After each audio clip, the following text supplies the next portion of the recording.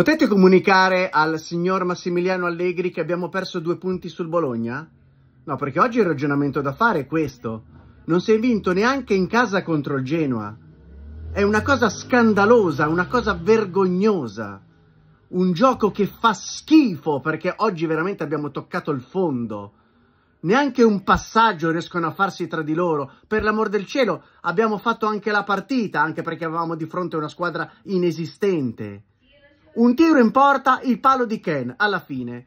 Neanche il culo di Allegri al 95esimo ha funzionato questa volta. Poi non mi voglio neanche più arrabbiare. Io ormai ci rido sopra. Ci rido sopra perché chi sostiene questa situazione o veramente ha le fette di salame sugli occhi oppure ha interessi personali.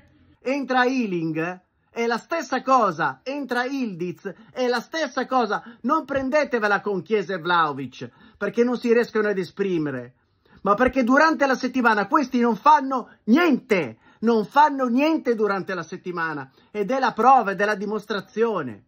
Perché non possiamo cambiare anche noi l'allenatore come ha fatto la Roma? Perché non possiamo farlo anche noi?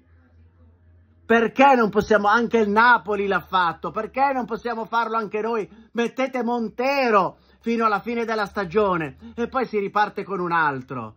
Tanto peggio di così. Che cosa si può fare peggio di così? E sono tutti diventati scarsi. Sono tutti scarsi. Anche Ildiz, che è un talento, è scarso. Ealing è scarso. Sono tutti scarsi. Incredibile veramente incredibile. Non c'è giustificazione. Uno schifo.